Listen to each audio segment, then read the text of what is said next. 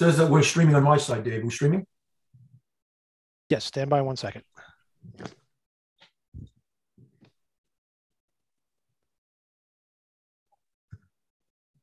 Go ahead.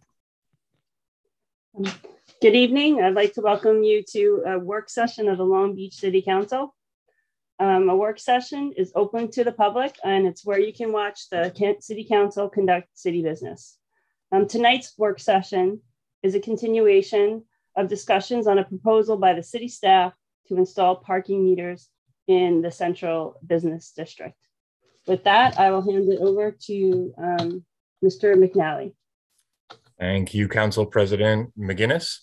Um, as you noted, tonight's meeting is on parking meters uh, for the Central Business District or the staff's proposal for parking meters for the Central Business District. Specifically, the new element that we're going to fold in tonight uh, are the, the, the revenues and expenses associated with it. So we fully understand that this is a hot button issue uh, with a significant amount of public uh, interest. So what what I wanted to do in queuing up tonight's presentation is to give a review of the process, where we've come from, um, and what everybody can expect from the process moving forward, council, public included. Uh, I would note that we have our parking consultant, Jerry Gioza um, from Level G Parking on with us tonight. He will be giving the bulk of the presentation before we open it up to questions from the council. We also have Sean Red and Ed Kincaid um, from Flowbird, who are the proposed potential vendor that we have engaged with and begun discussions with.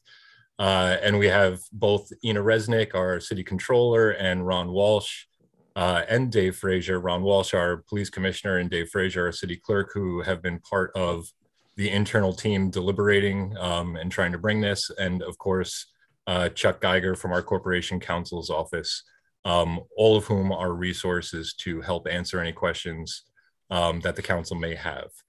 Um, so, in terms of background, this administration uh, came into the city two years ago and very quickly uncovered uh, essentially dire finances. Uh, that was structurally imbalanced annual budgets and staring down the barrel of close to half a billion dollars uh, in debt and long term liabilities. Uh, staff were quickly charged with trying to find alternative revenue streams beyond those that would just tax the residents through property taxes out of existence. Sorry, yes. A message from uh, the city manager on my, my phone that she's having trouble logging in. So Dave, if you could address that, please. Okay. Thank you, Commissioner.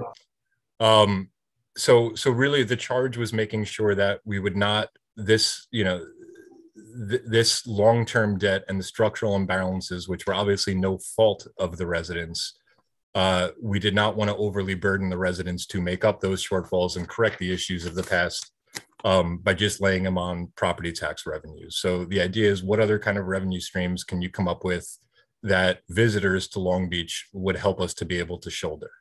Um, the council at that time, two years ago, noted that parking meters could be one such revenue stream.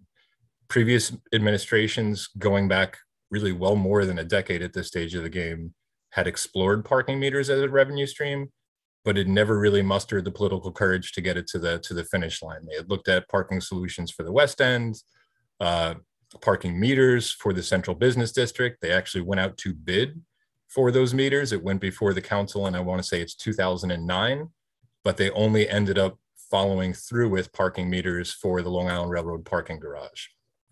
So when we came in two years ago, we re-engaged with the consultant about a year and a half ago, and staff have been working with the consultant for the better part of the past year to devise a plan that we think would work that would benefit both the business district and the city and our residents in terms of revenue and economic development.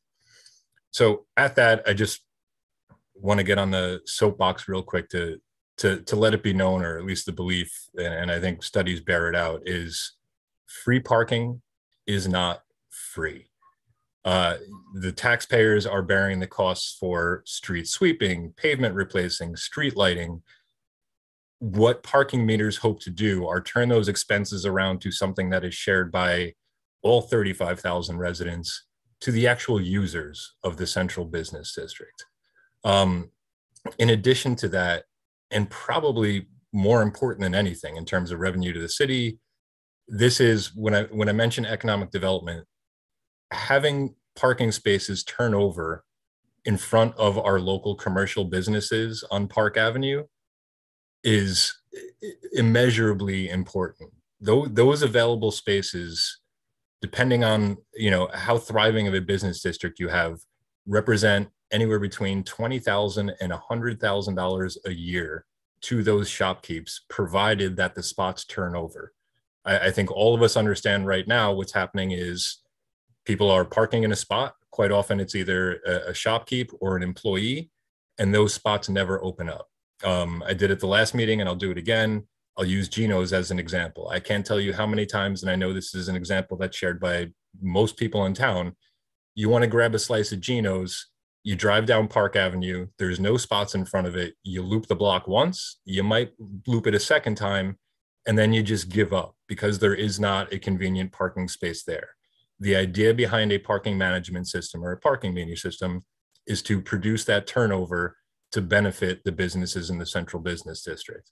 You look at Rockville Centre, Patchogue, any thriving downtown on Long Island has a parking management or parking management or parking meter system. So uh, in sum, that's those are the rationales for why we are moving forward or why we are proposing this solution. Let me just talk a little bit about process now for, for how this goes forward. As City Council President McInnis noted, this is the second public working session um, on this proposal from staff. The first one was on January 20th. The second one is tonight. Um, when this administration uh, came into existence two years ago, they decided they wanted to take a, a tack that was more transparent. Meetings like this, meetings like the one that happened on January 20th, where the council was informed about what staff were considering and they went to go solicit feedback, those meetings were always done behind closed doors. If, if, if this administration followed the tact of previous administrations, the public would not be aware of this proposal at all. But they chose the tact, and a majority of the council um, here, representative, and I'm sure most of the council or all of the council are in agreement. They chose the tact of wanting to be more transparent.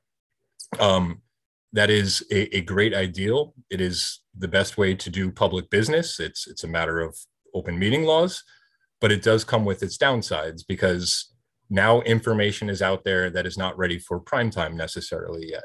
The, these are discussions between staff and council. Um, so all of this is not finalized yet. Um, and, it, and it's not it's not what a final solution or a final proposal is as would be presented to the council at a regular meeting. Uh, case in point of one of the downsides is we've had a local organization take it upon themselves to put out a public survey asking for input and reactions from the public on the proposal.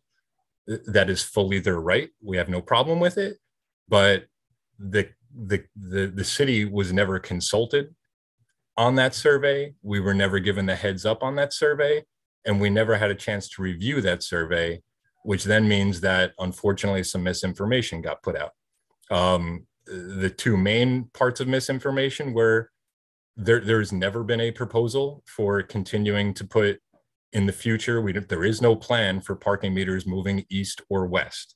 That was included in a queue up and an introduction to that survey. That's not information that's ever been discussed among staff. Yes, the entire city needs a comprehensive parking management plan, but parking meters aren't going to work throughout the city.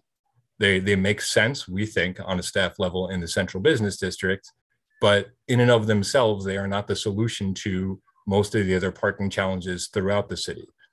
Um, the other thing that happened with that survey is there was a fee schedule that was taken from the request for proposal that we put out that as talks have progressed among staff and our vendor or potential vendor and our parking consultant, is no longer viable and is no longer under consideration. So the entire preamble for the survey, the thing that was put into people's minds as they thought about parking meters was was either outdated information that's no longer viable or factually incorrect. Um, and it's just it's just one of the downfalls of doing the right thing and having meetings like this.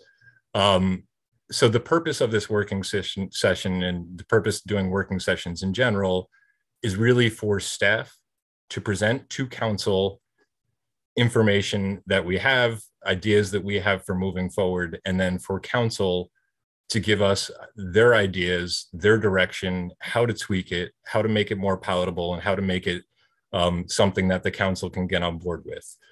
That's the purpose of tonight. If we do move forward from tonight, um, this would go to a regular council meeting where obviously public input would be sought and welcomed. Um, that particular next step in this process, should it move forward, uh, would be an agenda item in a future council meeting to authorize the city manager to enter into negotiations and a contract with the potential vendor, in this case, Flowbird. Even after that meeting where public input was solicited uh, and considered and potentially amended again, a plan for uh, parking meters in the central business district is still fluid. It's still not set in stone. There's still plenty of opportunity to massage it and tweak it to get residential input. And then even beyond that, in order to allow parking meters, you need to amend the code in order to create a parking district.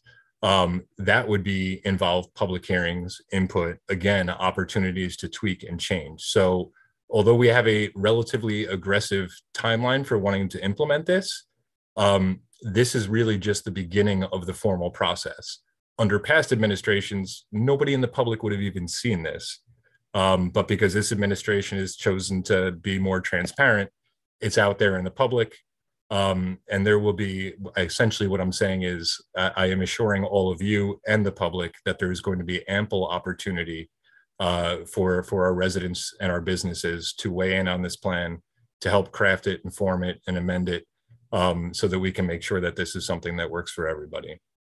So with all of that said, I'm now going to introduce um, or hand it over to our, our parking consultant, uh, Jerry Gioza from Level G Parking. He's going to walk you through the plan. This was done at the last meeting. He's going to make it a little bit briefer this go around, um, and then talk to you about uh, what the fiscal impacts um, and fiscal projections are uh, for what is currently on the table and being proposed. And with that, I will lay it quiet. After that, we'll obviously open it up to questions from the council.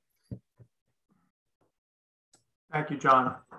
Um, before I start to share my screen, I just want to touch on a very important point that John brought up, and that's about what we're about to embark on is a parking management plan, and it's all about parking management. And I just want to talk about two similar situations that have happened over the past decade on Long Island that are very comparable to what we're facing here. Uh, one was in Patchogue and one was in Bayshore. Uh, both of those downtown communities, neither had parking meters, and both were, were plagued by, uh, uh by issues of parking on Main Street, not being able to find a spot, double parking, uh, congestion, circling for spots. Does it sound familiar? Well, both Patchogue and Bayshore implemented parking management plans, which included meters and parking fees to park at those most coveted on-street spaces. Um, Patchogue's was implemented, uh, I think, about six or seven years ago. Bayshore about three years ago. Uh, both downtowns have um, have continued to flourish. Um, there's been no uh, there's been no uh, you know, downturn in terms of the uh, economic activity. In fact, the reverse is true. There's been a uh, uh an improvement and uh, increase in investment activity in in, in both downtowns. Um, but the result has been those meters did change unhealthy parking patterns into healthy parking patterns. Um, the double parkers, the, the, the employees, the you know the folks that were uh, that, that really wanted to find a spot can now find a spot. There are open spots. There's a heck of a lot less double parking and a healthy uh, parking uh, patterns have emerged in both communities. And uh, I was involved in uh, both of those parking management plans, and I expect that the same results will occur in, uh, in downtown Long Beach as well. So with that, I'm gonna I'm gonna share my screen here and uh, get rolling with the uh, with the presentation. And as John said, I'm going to try to roll through the first part um, uh, rather efficiently because we've all seen this before. Uh, and then the last uh, eight slides or so uh, are dealing with, um, with our methodology in terms of developing uh, revenue projections and, and what we think the, the net outcomes are going to be for the city um, on an annual basis and over a 10 year period.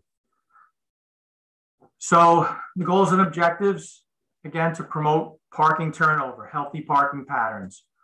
As a result of that, a more, a more customer friendly parking environment where folks can find a spot to uh, go in and get a slice of pizza or shop at one of their local shops, uh, to encourage economic development and provide a funding source to maintain, improve, and beautify and expand the system. Uh, in Patchogue, after the first year of parking revenues, the, uh, the administration there had an eye on a property next to one of their uh, municipal lots. They used the parking revenues to purchase that property and expand the capacity of that lot by 40 spots. So, so the revenue is, you know, can be put back into the system to, again, improve parking, improve the parking situation. So a little bit of a parking meter history. There were meters in, in downtown uh, Long Beach in the 50s, 60s, and 70s.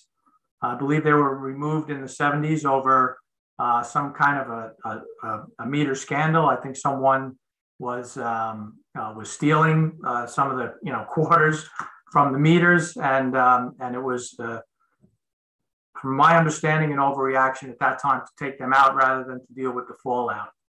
Um, in 2004, meters were installed at the train station. Uh, the parking meters were proposed in the West End in 2008. That never went forward. Uh, as John mentioned, there was an RFP in 2011 to install 33 meter meters in the CBD, which also did not go forward. And um, the train station parking meters were upgraded in 2012. The current proposal is to institute a parking management plan in the central business district between Lafayette and Monroe, promote parking technology. Today's parking technology is uh, very app driven. So we'd like to promote parking app use uh, as opposed to, um, to using the kiosks, but kiosks will still be available. Uh, and solving the employee parking is also an important part of a fair parking management plan. We have to give employees fair and convenient zones where they can park as well. Uh, so employee parking zones and discounted parking for city residents are also part of this program. Here's the limits of the, uh, the proposed uh, parking management area. As you can see, it's centered on City Hall uh, and going uh, three blocks west to Lafayette, three blocks east down to Monroe centered on uh, Park Avenue. So the parking uh, space classifications, we have transient parking spots, which are paid parking on a first come, first served basis. We have permit parking, spaces which will be designated uh, and or available for discount for uh, downtown employees and commuters. Free parking, there's gonna be free parking for and the handicap stalls as well as short-term uh, 10 minute stalls in and out spaces near the post office, city hall, uh, and train stations. Uh, transient parking in the current model will be uh, paid parking in effect all days between 9 a.m. and 11 p.m. Uh, the time limits uh, would be in effect between 9 and 5. After 5 p.m., time limits would fall off. This would allow folks going to restaurants and events and so forth to uh, park beyond the posted time limit of, for example, two hours. Uh, the system would be pay by plate using the parking app, or you could use one of 36 meters. Uh, pay by plate is the preferred operation now, um, where a parker would enter their license plate number uh, to begin a transaction. And that also makes enforcement uh, more efficient as now license plate readers can, um, you know, can track whether uh, whether a parker has paid for parking or not. Again, the city discount um, we're proposing would be that uh, if a city resident if a city resident registers in the database, uh, their plate will be posted on the list of uh, of uh, eligible residents, and when that eligible resident enters their parking space number at the kiosk or on the app, the kiosk or app will automatically apply a 50 cent, a 50% discount uh, to those registered residents. Just by way of comparison, some transient fees at shore communities um, are currently running about $3 an hour um, in uh, Point Pleasant, Seaside Heights, Ocean Beach, and Rehoboth Beach. Uh, permit parking, the um, the rules here we're looking at uh, that would be in effect uh, all days between 9 and 11 again. Uh, and the permits will be digital in nature, just like the transient transactions will be license plate based. If, if I purchase an employee permit or a commuter permit, now my license plate will take the place of a sticker. My license plate will be my permit. So the, the inventory within that zone that, uh, that we identified earlier between, um, uh, between Lafayette and Monroe uh, contains 1,350 uh, spaces. So those 1,350 spaces are what we based our evaluations and analyses upon. And this is the breakdown. We're looking at the majority of those spaces being uh, e-permits and daily parking, close to 500. And then we have various limited spaces, two hour limit, four hour limit, one hour limit, depending on the area of the central business district that they're serving. Enforcement becomes a key element. Um, you know, really enforcement is an important component of any successful parking management system. And this is so that, um, and this is not to, uh, to generate revenue. This is to ensure compliance with the program. We want folks to go out, purchase their permits. We want folks to get the app and, and pay as they go along. Uh, if, if, a, if a system is not properly enforced, um, folks will click, quickly learn that they could get away without putting money in the meter and the, the system becomes abused.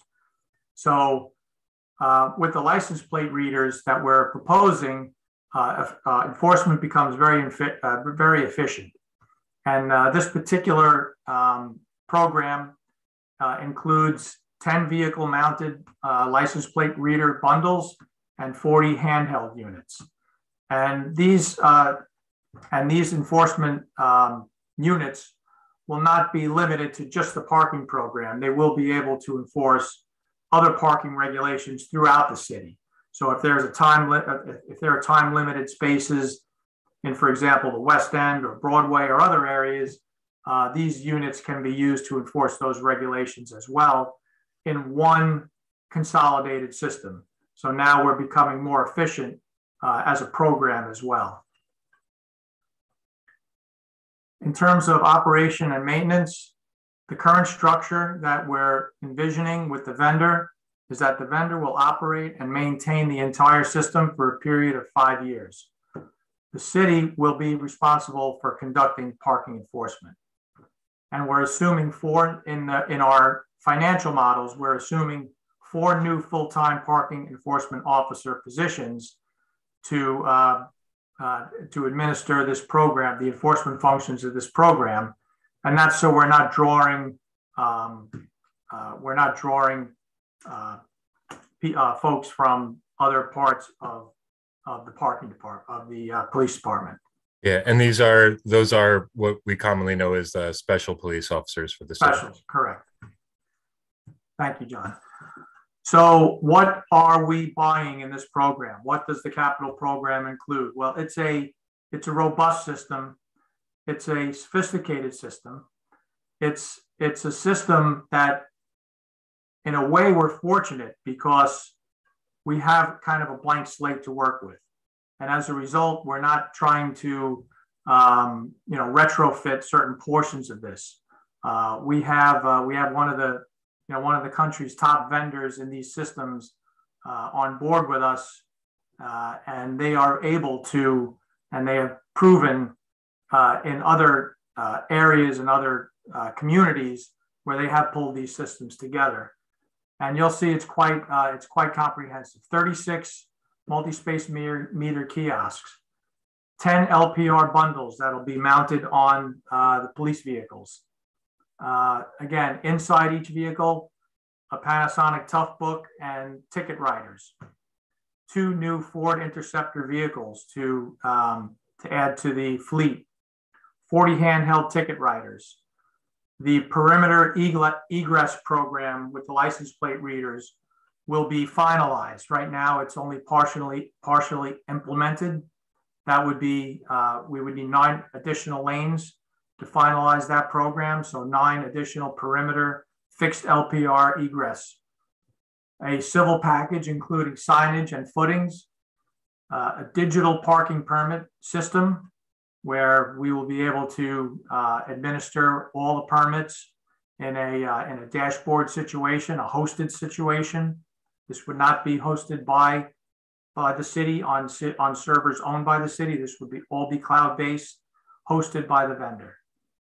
Pay by app, citation management. After a ticket is written, it will become part of the system. It will be downloaded and tracked um, on a thorough basis. Uh, and we could do searches of, of plates and, um, and, and track every citation that is written through the courts. There's an appeals process as well, uh, where, where folks will be able to appeal their citations online if they so desired. Fine collection services for, for, uh, for uh, citations that, uh, that go unpaid. The vendor would also be providing that. All the merchant processing, the credit card fees, a 24 7 call center. And that's for customers who are having difficulty with the meters or with the app they could call at any time, and that's also provided in this package. Um, the 24 7 call center would also apply to the town, if uh, I'm sorry, to the city. If the city were having difficulties with the software or with, um, you know, with the back office function or the dashboard, they would be able to call uh, this, this, you know, a special call center as well. All this would be tied together, all the hardware, software, and communications are supplied as part of this package. The back office, the dashboard, where all of this can be monitored by, um, by city personnel with permissions. So if you want certain uh, personnel to only have access to certain portions of, of the data that's collected, and there's a lot of data here that's going to be, um, that's going to be collected, uh, we can do that through permissions. And finally, a turnkey delivery of the entire system, fully integrated, tested, and operational. So, so you can see where, you know, starting kind of from scratch is, is going to give us an advantage here that the vendor will be able to pull all this together without having existing components and parts to, you know, to play with or try to integrate um, into some kind of clunky integration. This is, this is going to be uh, kind of a, a fully functioning integrated system, and, um, and that's what the capital program includes. So the contract structure, we're looking at two structures right now. We've run numbers for a structure which is vendor financed with a revenue share or city financed with, uh, with new debt. So um, of course, the vendor finance, the vendor would, um, you know, would install the entire system and would be paid back over time from the revenues generated by the system. The city finance system would, would the city would have to be issuing new debt and would purchase the system outright uh, at the onset, but then would be responsible for the operation and maintenance of the system uh, from day one. So implementation, um, you know, we we still need to finalize negotiations and develop a contract with with our vendor. Uh, as John mentioned, we'll need enabling legislation and ordinances. uh, marketing, education, public and, and public awareness in terms of the system, what it means, how it works, what the options are for, uh, for payment systems, for the app, for businesses to participate in terms of uh, validations and so forth. Um, of course, we would have to install, integrate, and test all these systems. Uh, and, you know, we're hoping for a go live date in the uh, summer, uh, this summer. Uh, we do have a Memorial Day. We did have a Memorial Day target, which, um, you know, which is, I guess, still on the table, but which we feel of the distance we still need to travel is, is, is a fairly aggressive target. So now we're going to get into the financial pro uh, projections. And I'm going to start off with, uh, with, with the, the foundation of how the financial projections were developed. And this was done from counts. And back when we were engaged in 2018, uh, we conducted uh, counts in the central business district in the 1,350 spaces uh, between 9 a.m. and 11 p.m. The counts actually extended further. They started at, at 8 and went to midnight. Uh, but because the 9 to 11 period is the, is the revenue generating period that we're looking at, uh, that's what this graph is representing. So at 9 a.m., what this is showing is that on Tuesday, October 23rd, 2018, there were 900 cars parked in those 1,350 spaces. As the day progressed, you could see the number of cars started to pick up until it hit a peak of 1,100 um, here. And uh, the Tuesday is the blue line. So 1,100 uh, peak at 1 p.m. And then it started to drop down uh, throughout the day until at 11 p.m. there were 410. Now on a Friday, Friday has a different pattern. Friday is the old double hump camel here. Uh, after five o'clock, folks go home from work.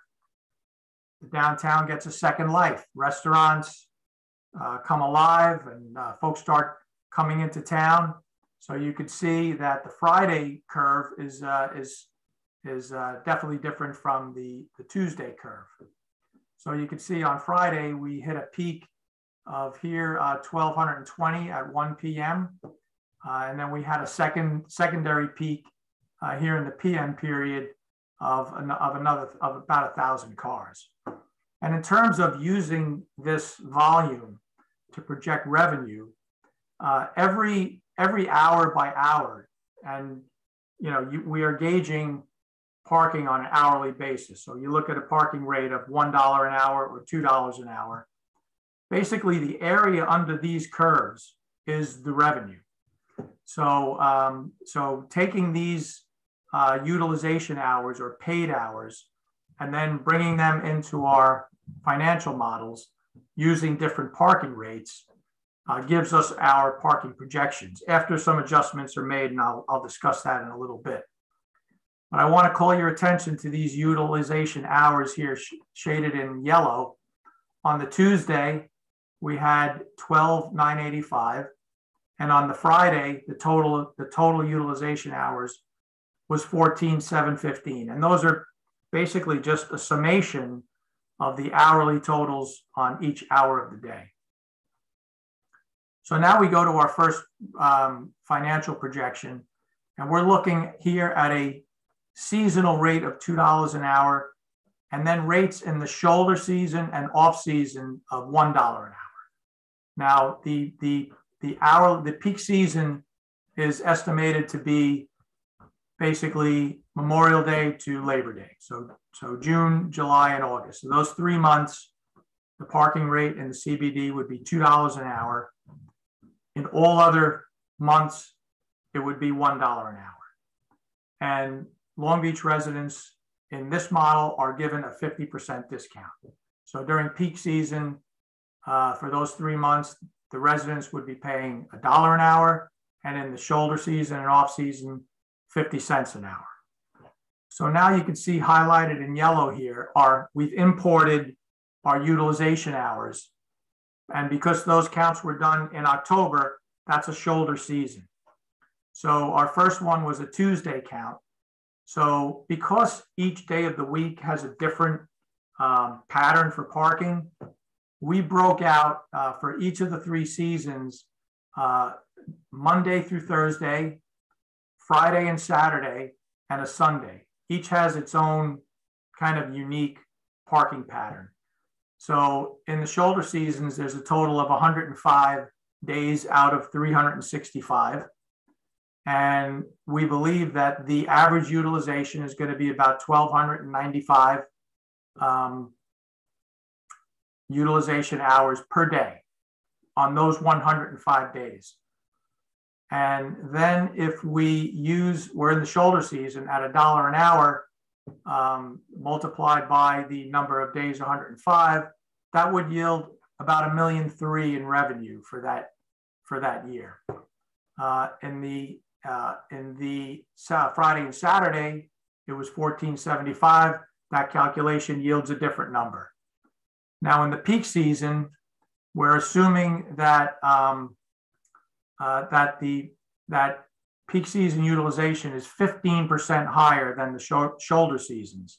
So these are adjusted entries here, but all based on the on on the base counts uh, done in October. So these numbers are generally 15% higher than the October counts, and those numbers are indicated here for the uh, for the 52 weekdays, the 26 Friday and Saturdays, and the 13 Sundays in the peak season. And in the off season, at a dollar an hour, we're assuming that these um, that these revenues are generally 25% uh, lower than the shoulder seasons. And that's what's reflected here. And these are the expected outcomes in terms of revenue. So you add all that up, it comes to 5.9 million. However, because the counts were globally done, including all cars parked in all spots, we have to make some adjustments. So the first adjustment is to account for the permit parkers parked in these spots, mostly the employee permits. So we're assuming that about 32% of those cars uh, that were counted are going to be employee cars who are purchasing permits to park rather than putting money in the meters or the kiosks. So we have to make an adjustment. We have to pull out revenue, works out to be about 1.9 in this model um, from that revenue stream to account for the employee cars. And also because the Long Beach residents are not, will not be paying the full freight, they'll be only paying 50%, we have to make another adjustment. So we're assuming that 27.5% of those cars counted in this model are going to be Long Beach resident cars. So we make another adjustment. So the final uh, uh, estimated revenue from this model is about 3.48 million per year. That's at two dollars and one dollar for the uh, for the for the rates. We then went and did this same exercise at a second rate structure of three dollars an hour um, and a dollar fifty, and this is the model that is um, is more consistent with uh, with the shore communities that um, that I indicated earlier. So this is kind of in the middle. So we did we did one below the shore community models, one at shore community models, and then the next one is one is a dollar above the shore communities. So uh, so if we if we went to the three dollars in the off season and dollar fifty, I'm sorry, three dollars in peak season and a dollar fifty in the off season, using the same utilization, uh, our annual revenue would increase to about 5.2 million. And going to uh, to the most aggressive model at $4 an hour and the shoulder season and off seasons at $2 an hour, uh, the annual revenue would be close to 7 million a year. So then what we did is we took these projections and we pro formed them out over a 10 year period. Now, a 10 year period was selected because we believe that that's the life, the useful life of the meters and of the technology as well uh, that will be that we'd be purchasing in this initial package. So we're confident that that this capital program is going to take us through a 10-year period, but at that at that time, we're probably going to have to retool uh, at least um, you know part of the system. So uh, so we thought that the 10 year period uh, would be a good uh, a good comparison period. So here's the here's just an example. I'm not going to go through every number here, uh, but I just want to give you an example of the pro formas and how they were developed. Uh, the top part, we have all the parameters that were used, the hours of operation, uh, the rates. You know, this is this particular one is at four dollars an hour uh, in the peak season and two dollars an hour in the off peak. There's a there's a daily parking rate of twenty five dollars a day. Um, there's uh, the Long Beach resident vehicle registration fees are put in, the employee parking permits, uh, the overtime parking violations, and uh, and all the revenue items are listed up here in the uh, in the top five lines.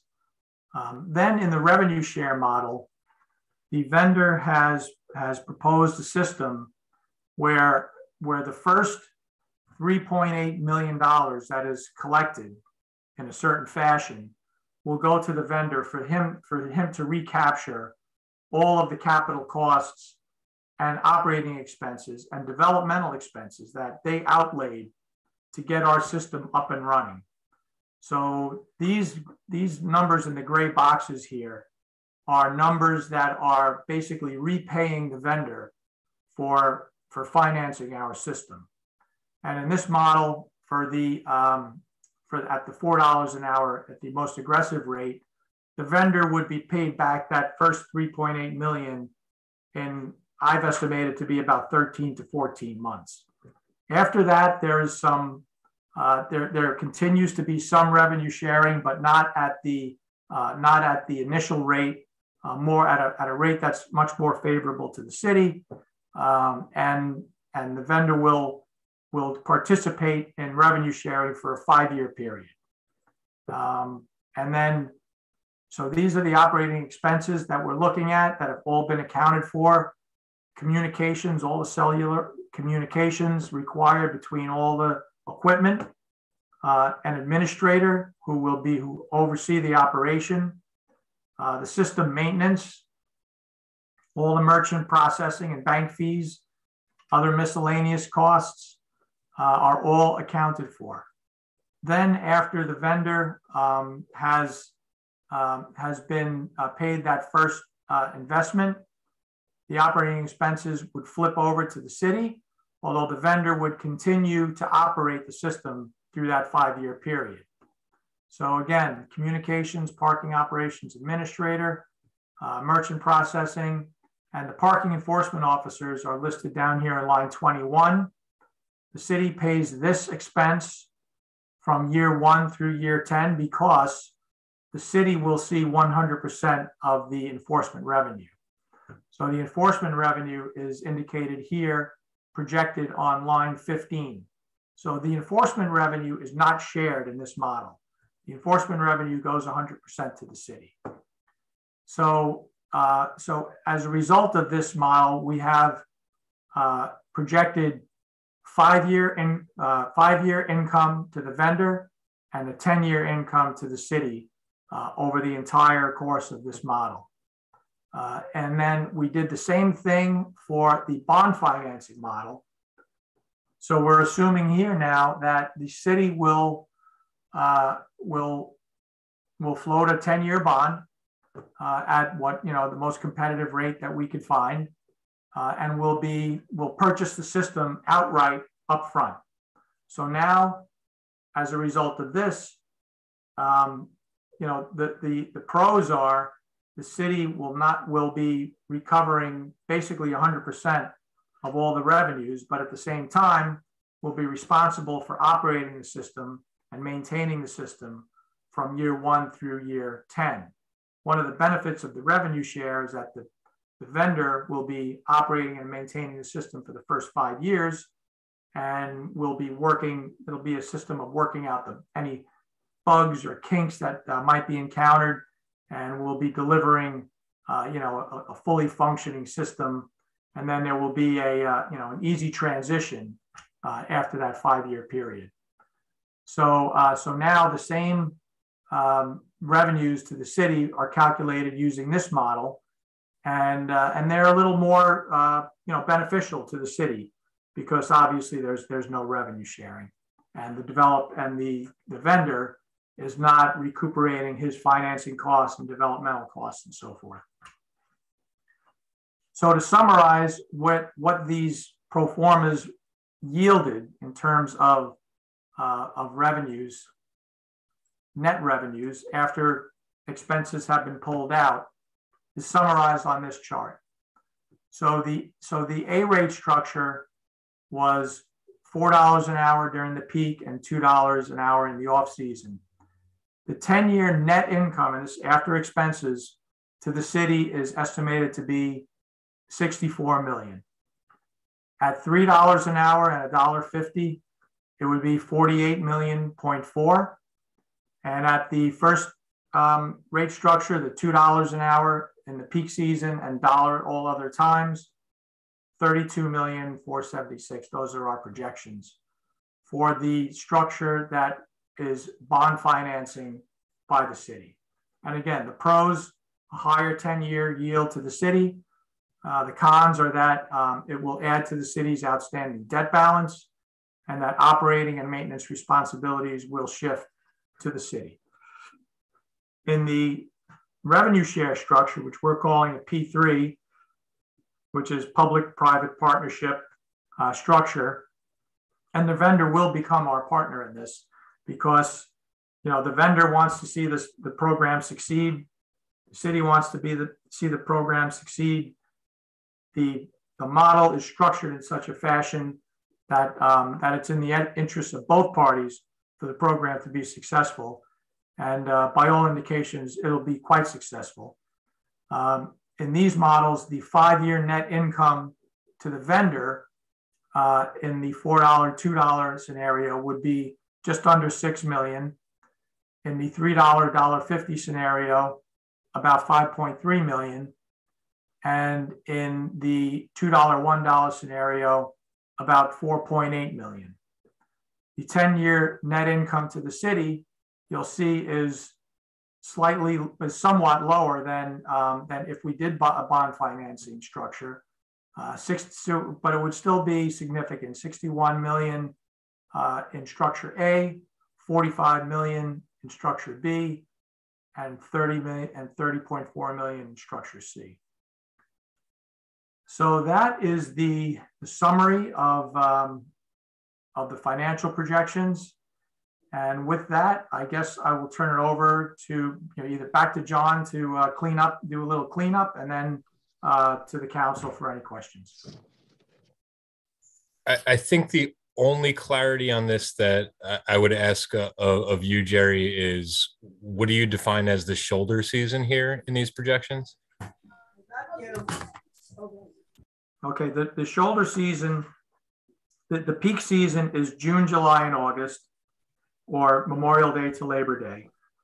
The off peak season is December, January, and February.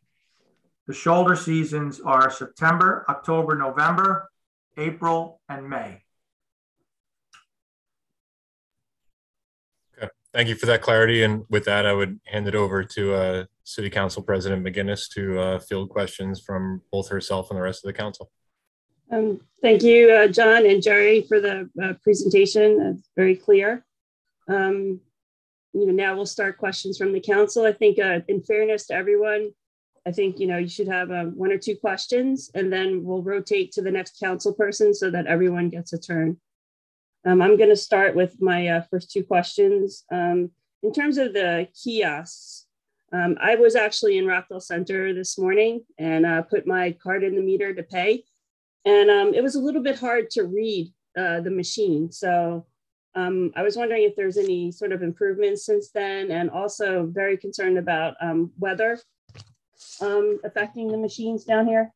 So I would, uh, Jerry, if you wouldn't mind, uh, stop sharing your screen at this stage of the game. We can come back to it if we need it for a frame of reference, but I would I would hand that over to either um, well, to either Ed or Sean.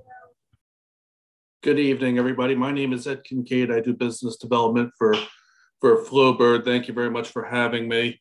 Uh, the Rockville Centre is a older product with the monochrome screen that is smaller. Our proposal here is a 9.7 inch color touch display, uh, much more user friendly, much easier to interface with.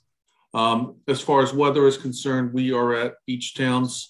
Um, well, we're all across Long Island, but at beach towns from Maine down to Florida and up and down the West Coast as well. We have no issues as far as weather is concerned, uh, whether that be the summer heat, the humidity, the cold, um, as well as the you know the salt water and the salt air. And then my my my follow up question. Thank you, um, Ed. Um, in terms of uh, in, installing the uh, kiosks, so when you're digging up and making um, electric hookups, is that all included in the installation price? The kiosks are, are solar powered. Um, okay, that's great. yep. So that that minimizes any infrastructure needs. Okay, so let's um, keep this moving. Uh, next council member who would like to go next with uh, one or two questions so we can rotate. Well, I would just, if you don't, if you don't mind, um, mm-hmm. one of the questions that had come up from staff level, and I'm sure would come up for either council or members of the public. We have the the south side of Park Avenue, rarely sees uh, sun. So, could you expound upon Ed how how the units function in that environment?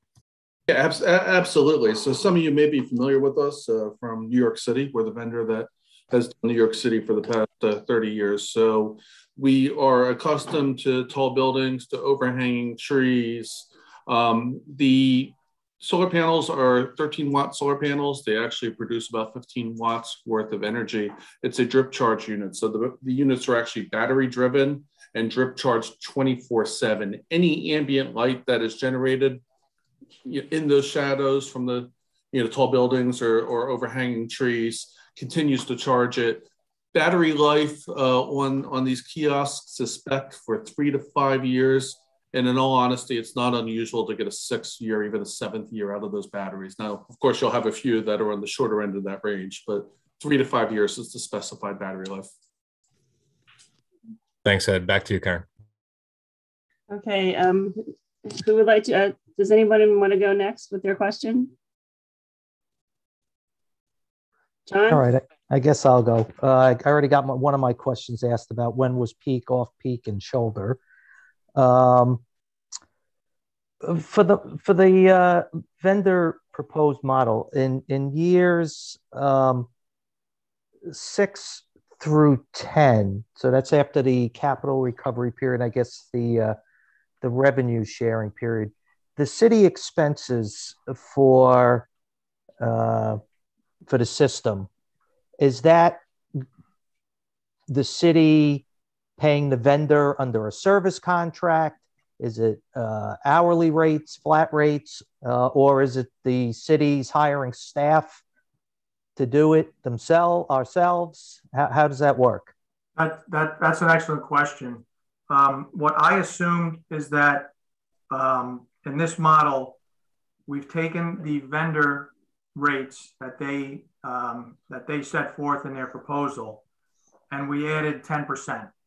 So that if we would, we figured that if we did bring the vendor on as the operator after year five, um, there would be at least a 10, there would be probably a 10% markup on what their, uh, on what they're being, uh, on what their expenses are at that time.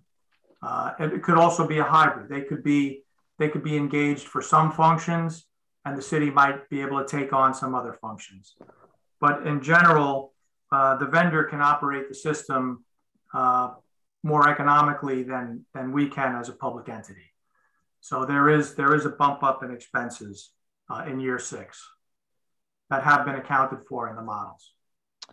All right. So then, as part of that, it, uh, let's say in the first five years where the, the vendor is responsible for the system, um, if something happens, equipment needs to be replaced. Uh, you know, uh, obviously things break.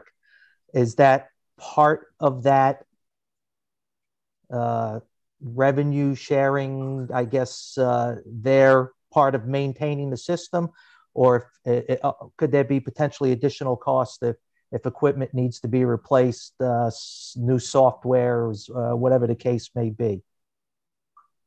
Yeah, uh, during the capital recovery period, the vendor is 100% responsible for all those, you know, equipment replacements and upgrades and so forth.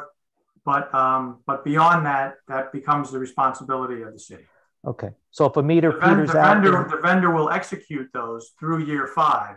Right. But the, but the city will be responsible for, okay, so if, a- if, if a kiosk needed to be replaced in year seven, that would be, then be the city's responsibility, that's, that that's correct. expense. But, but Okay. there are, but the service contract, and Ed, correct me if I'm wrong, service contract that was, um, that was quoted in here was a high-level service contract that would, you know, there would be automatic upgrades and, um, you know, replacements of equipment that, uh, were, that became outdated. Correct. And any defective parts there, Jerry, are, are going to be covered. I think it's important to note for the council that all of the parts inside this me- meter are modular and plug and play, uh, which makes for the easy fix, the easy replacement, or the quick upgrade um, of any unanticipated technologies there.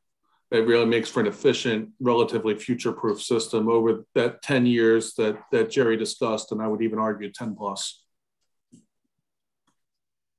All right, and I guess if I could just, uh, Karen, I'll ask one more then. Wait, wait, Ron's got his finger up. Yeah, I just want to point something out too that I think is important to remind everybody of. That zero negotiations have taken place at this point. This is just a proposal that's come from the vendor and us discussing it. Some of the uh, some of the negotiations are going to surround exactly the questions that you're asking, John. You know, Okay. how how we how we structure maintenance, how we structure replacement, how long they're willing to work work with us within the structure because they're making money on this too within that structure to you know extend our the warranty on product all that stuff is part of negotiation that has not taken place at all yet Okay, Okay. thanks, Ron. And I guess just one more. Uh, this is something I, I- I know it's happened to me. I'm sure it's happened to others. Uh, you go up to one of these uh, uh, kiosks somewhere, and the kiosk is out of order. Um, I've I've found this particularly true around the off the Nassau County office buildings. um, but uh, and, and I've I've seen this in other places. I was uh, uh, down in Florida not long ago. Had something similar happen there. Um, uh, so uh, I believe there was talk in the first presentation that I guess the, the, the company gets a, a, a message if a piece of equipment goes down through through you know onboard sensors and stuff. But uh, in the interim, if a piece of equipment is down and you got people standing at a kiosk or trying to figure out how to pay for their spot and they're unable to, uh, what what happens? What's So I, I think I got you. gist. I'm sorry to interrupt. Um, Ed, could you talk about your side of things? And then I think Commissioner Walsh talk about, I, one, one important thing to note is we're looking at a hybrid system here where the, the physical, you know, multimeter in front of you, if that is down, there will still be an option to pay for your parking on a mobile app. Um, but I somebody might- understand that, but not everyone's might not- use an app. somebody might not get that. So Ed, if you could, if you could speak to, or Sean, whoever would be on your side, um, talk to how that's handled on your end. And then if we could just pitch that to Commissioner Walsh quickly to talk about what the law enforcement reaction would be if somebody was in a position where they were actually unable to quote unquote feed the meter. Thank you, John. Um, overwhelmingly, with the majority of our clients, we are not the operator or responsible for the upkeep and maintenance of the equipment. Uh, that's kind of what is unique about this conversation that we're having here today. Is this is going to is a, a new venture that we're taking on as a company, and, and and we're excited about this opportunity here in Long Beach. Um, so I can't speak to Nassau County. You might have saw I laughed a little bit. Uh, that Nassau County is uh, unique as, as, a client, and I'll just leave it at that. Um, but you know, it's incumbent upon us, you know, to keep the meters up and running. There are alarms that are issued by text and email to our technicians and any city officials who opt into that, um, as well as back office alarms and visual alarms at the meter. Uh, clients have the option to pay at any meter uh, throughout the city of Long Beach, and of course, the app is there's a backup, so there is redundancy. Um, if one mode of payment is knocked offline on the meter, the redundancy is the meter will tell you, hey, I'm only taking coins or I'm only taking credit cards, and it, it will communicate to the user, um, you know, if there's a problem with one of the modes of payment that it's no longer taking that option. Okay, You wanted me to uh, talk about the law enforcement side of that, John, real quick? So, uh, Uh, uh, if you could, so because you it- know, I- uh, I- I guess we just have to recognize that it's probably a reality that at some point, uh, you know, a piece of equipment's going to become inoperative for some period of time, and Inside the maintenance agreement, we had discussions with the Flowbird also about their response time and the monitoring of the equipment. So that's something that we talked about, how quickly they come out and fix it. Also, the direction to go to other meters would be also available. And we would also know internally and be able to produce in court. If someone come up and says, hey, the meter's not working, that information is readily available inside the system for us to say, nope, all the meters are working on this day. Here's the report, introduce that, which then would turn into, uh, sorry, the meter was working. You're just trying to get out of uh, paying your fine. So there's a lot of backups to this thing too. So uh, it was a lot of it was uh, thought of it. Thought of. great. Okay.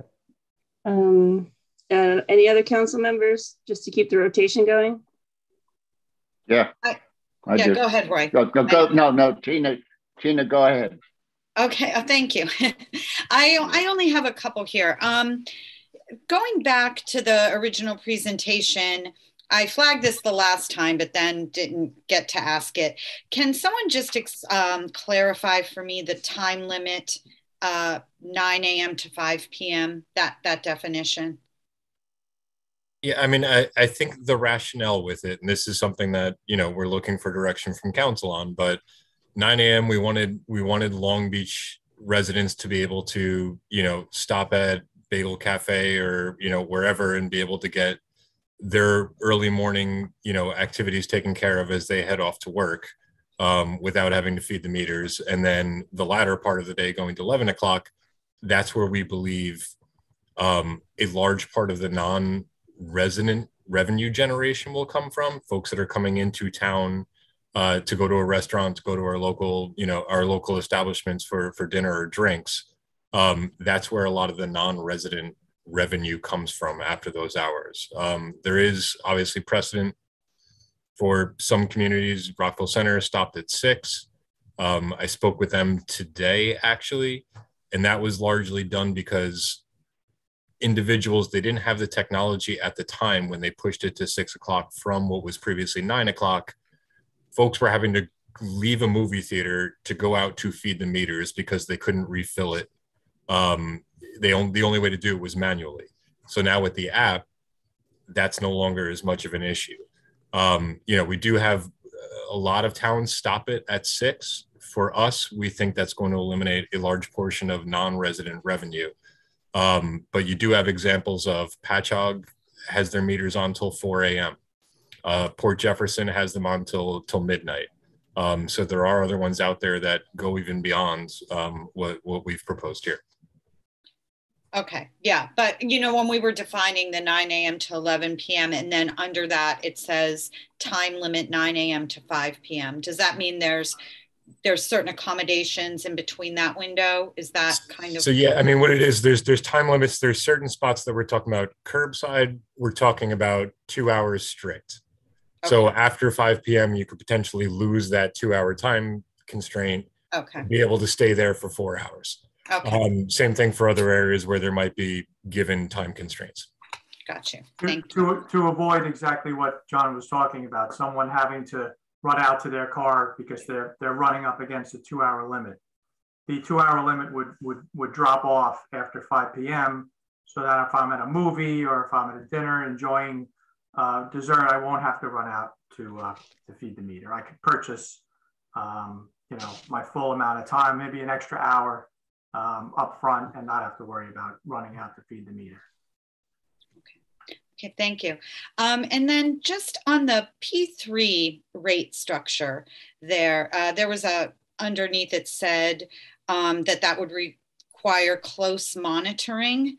And now, is that something, you know, should that be something we would look into uh, that could be handled by current staff? And what would be needed to ensure accurate um, calculations there when it says clo- careful monitoring? So, so the, so the back office function, every, every meter, every nickel that's put into, to every meter, every credit card transaction every app transaction is detailed uh, in the back office. And it's an open book for the city and for the vendor. But in terms of the monitoring of same, uh, we have to keep track of the accumulation of revenue so that once that once the revenue once the, the vendor has recaptured his initial investment then the structure kind of changes from that point through year five. So that's the only reason we it's, it's basically saying we have to keep our eye on the ball in terms of accounting um, to, uh, to to properly um, you know work through the financial structure here Okay. So, and, it, so- and it's it's easily it's easily accomplished given the the back office and the transparency of the of the data. but when you know, you know, back office is really, you know, it's a lot of data, and um, if we have staff that are already working 150 percent, then where does the that back office personnel come from? Like, how is that accounted for? Like, wouldn't it be a half a head count from one department, like Ina's department, and another full half a head count from Ron's department? Like, where is that cost accounted for? Uh, I, I I think the data can be easily um, manipulated and filtered so that um, we could receive uh, weekly or biweekly reports in terms of what the revenue is, monthly reports. Um, you know, it, it's it's easily tracked, but has to be monitored in order to. President McInnis, I think uh, a little bit more direct to what you're asking. Uh, inside this particular model, there is no backroom staff that's built into managing this because we left that up to the vendor. Uh, if we were to switch ourselves at some point in time to a model like that, you would then take into TE that you would need, full-time equivalent, that you might need for a position to do this, comptroller's office or wherever, and then take that revenue from the actual program to pay for that person's salary and account for it that way. So that would be part of your net calculation, as you know, taking it out of the gross, so that you pay your net calculation would change by additional staff and reducing the expenses of the vendor. My personal recommendation dealing with these things in the county is I wouldn't recommend that for the beginning. I would recommend that in, as a long-term view uh, for something that you might want to consider after we understand how to how this thing works. I would recommend staying with the vendor for at least a minimum of five years. Right. So if so that means in both the vendor proposed and the bond financing structure, somewhere between line six, you know, somewhere in the proposals, there should be a line item for a potential city cost on ident TBD of X amount of dollars, right? Jeremy, you can speak to that. I, but I don't, I don't, I don't think, I don't think it would be, you know, we're not talking about a full-time position here. It's, it, it's basically somebody to review a report and see how much revenue the, the vendor has accumulated on a month-by-month basis to keep track of it. And then once they hit that number, then we've, then we enter phase two of the agreement. So it's, it, it's somebody reviewing a report that's automatically generated by the system uh, on a monthly basis. I, I, I, I see it as maybe, you know, a few hours a month. Go ahead, Ina. And from operating standpoint, um, we can just open up a separate bank account to to feed all this revenue, so it will be segregated and more easily tracked. Okay. Um, okay. For sake of time, thank you. Um, Roy, did you have some questions?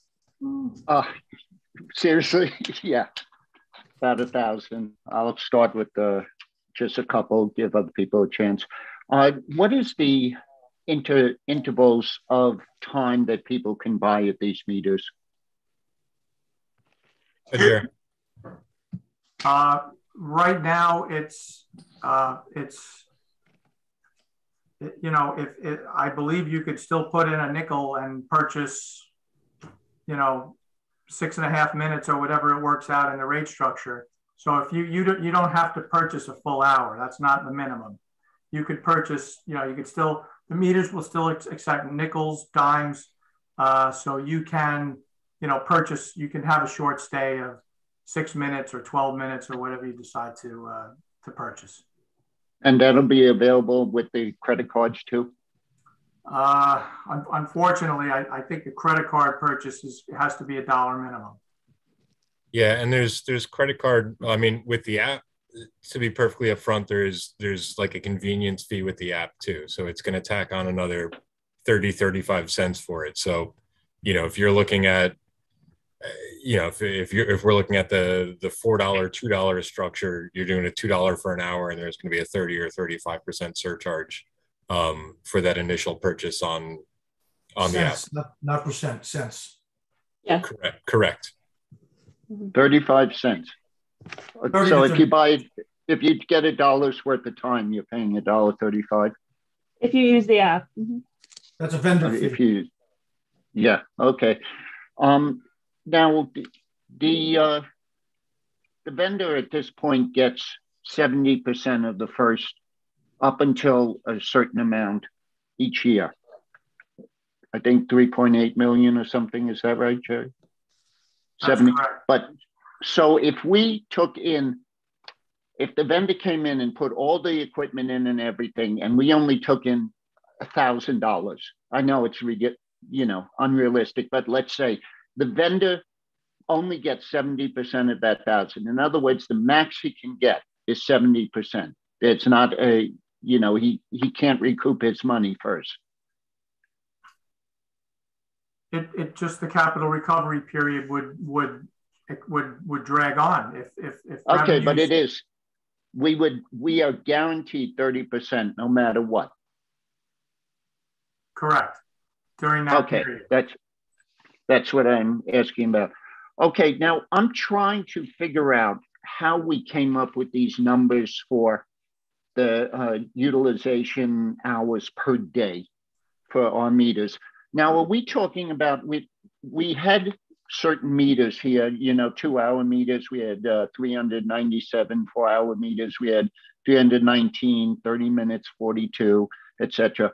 The permit spaces, the permit spaces do not have meters. Uh, The 497 permit spaces.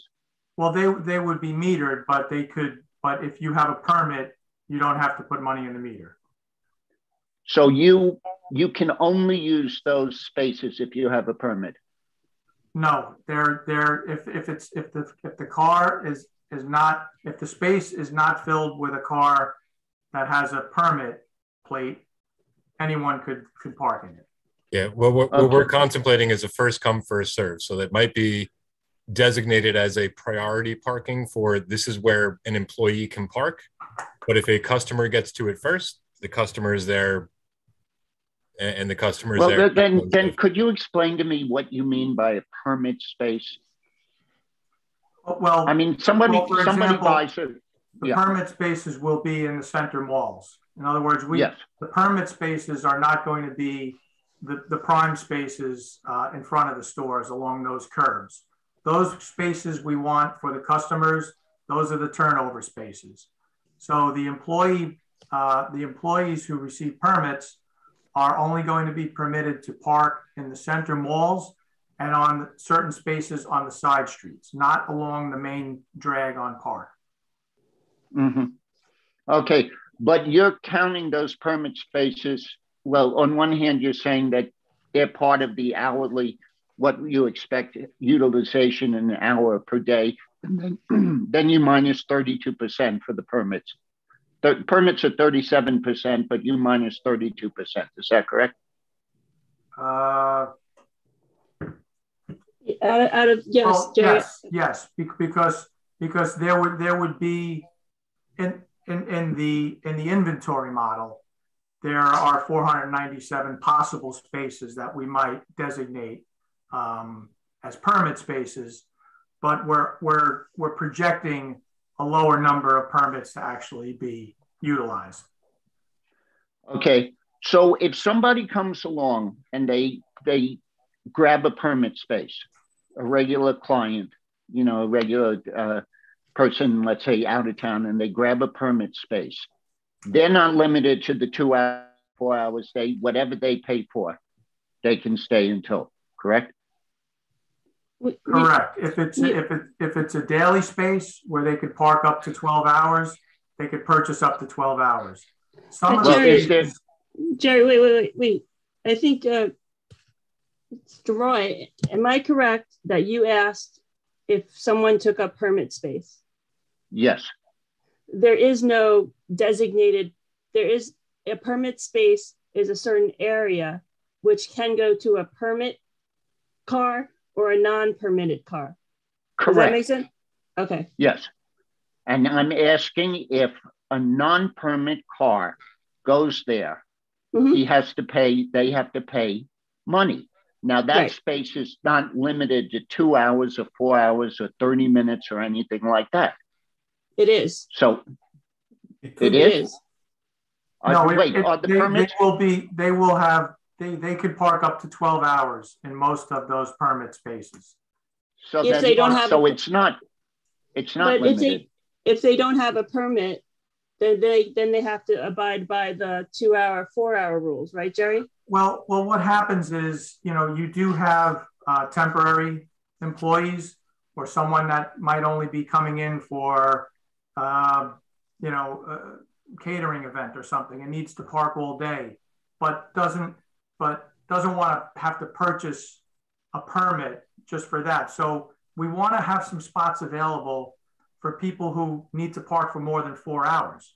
So there are going to be spaces where there's where you can purchase up to 12 hours of parking. If, for example, I'm a temporary employee or or or a part-time employee. So I'm not talking and about and those, Jerry. spaces would be would be the same spaces that the permit holders would be allowed to park in. Jerry, I'm Roy? talking about a regular person that comes here and he goes to a permit spot. You have 497 permit spots. So someone comes here, he goes to a permit spot, he's paying the fee. Okay. He's paying the dollar an hour, two dollars an hour, four dollars an hour, whatever it is. He's limited, he's not even limited because it, it's 12 hours, but it goes beyond 12 hours. I mean, past the 12 hours, the meat is not in effect. So, so Roy, I mean, my what, what I would say is, I mean, a it's probably not a very realistic scenario we're talking about. It's a very small subset of of any any scenario that we're talking about as far as users. John, John, I'm asking if it's possible. It's- I'm not it's asking possi- who's going to do it. So it's Yeah. possible, it's not likely, and it's certainly not economical for that individual. Um, but that's also why, you know, as we've stated in the past, a- any parking system like this is a living, breathing system. So we are going to be not just the beginning of this until it hits the ground running, but this is going to be something that is constantly amended and tweaked as we start to get the real life data. back Right. too. John, So- the purpose of this is to ask the question. yeah, yeah. That's why I'm asking the questions. I'm I'm not asking whether it's going to be possible, whether someone's going to do it. I'm trying to figure out the structure. Yep. And that's why I was asking about the permit, the 497 spots. They're not necessarily just permit people, they could be for anybody. Okay, correct. Karen, you want to let someone else ask questions? I have more questions, but I don't want to take up the time. Sure. Um, Liz, you haven't asked, do you have any questions? I have questions, but in, uh, I know Roy has a hard stop, so I would. I- No, that's all right, Liz, Liz. I yield to you, go Roy, ahead. please, go ahead. Finish it up. Okay. I'm trying to figure out how we came up with the numbers of uh, the estimated average utilization per day of all these spots. And, um, you know, I, I'm looking at the, the Great Neck Plaza, what they charge, how many uh, hours they use. Uh, Great Neck charges 50 cents an hour. They, the revenue, let's say they, the revenue is 70 uh, annually from 750 metered spots. John, that's what you sent me today. Is that correct? That is Okay. correct. That- 70 that- is the very high end of their estimate of what they make. Right. Right. So that comes out to 186 hours per year. Per year. Okay, for their 700 metered spots. Um, the Huntington has 500 metered spots. Charge a dollar an hour. The revenue is 700,000. That comes out to 3.8 hours a day. I think they're reporting net numbers though, they're not reporting gross numbers. Those are net, Correct. They're all expenses and all back rooms, so that's not the number of hours, that's the number of how how much money they're actually clearing. Well, it says revenue. It, it didn't say net revenue. It said the revenue, and I assume revenue is the what comes actually in. It, it should have been net. you- My apologies. So we don't know what they gross. I can I can do further inquiries with all of them, and I still have other Well- municipalities I'm talking to as well. Okay, because I, I'm looking and I, I, you know, to me, these numbers were based on numbers of two days back in 2018, uh, October 23rd and October 26th. At that time, there were no meters, there was no incentive for anybody to move. So somebody parked and they're going to park there probably the entire day. But based on that, the numbers are that that meter was utilized for the, you know, up until 11 o'clock. I think we stopped counting. Oh, no, you actually, Jerry, you said we stopped counting at 12 o'clock, right? Yeah. So, you know, to base our possible utilization on numbers that were taken when there was absolutely no incentive to move, I, I, I you know, Oh. to me, it's suspect. Okay, so so what what we did in our models is uh, you'll see the, on the right hand column of those um, projections, we in parentheses it says year three. So you're correct. There is a um, there there is a, a change in patterns immediately following the implementation of such a system.